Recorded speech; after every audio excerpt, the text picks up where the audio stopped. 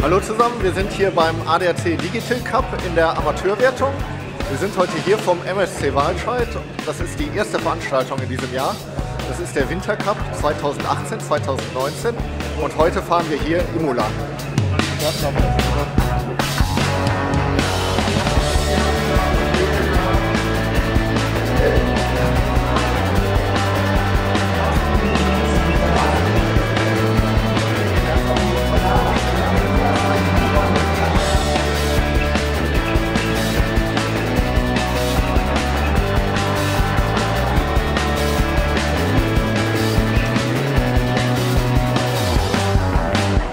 Ja, das Ziel für heute ist, äh, erste Erfahrungen zu sammeln und uns in der Meisterschaft zu etablieren. Und äh, vom Resultat her, denke ich mal, sind wir im guten Mittelfeld. Der MSC Bingen zusammen mit Odenkirchen und dem MSC Wallscheid, die haben hier gerade so einen kleinen Dreikampf gestartet.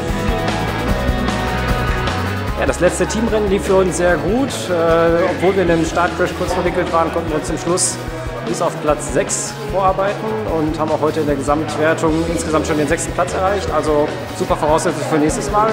Bleibt dran.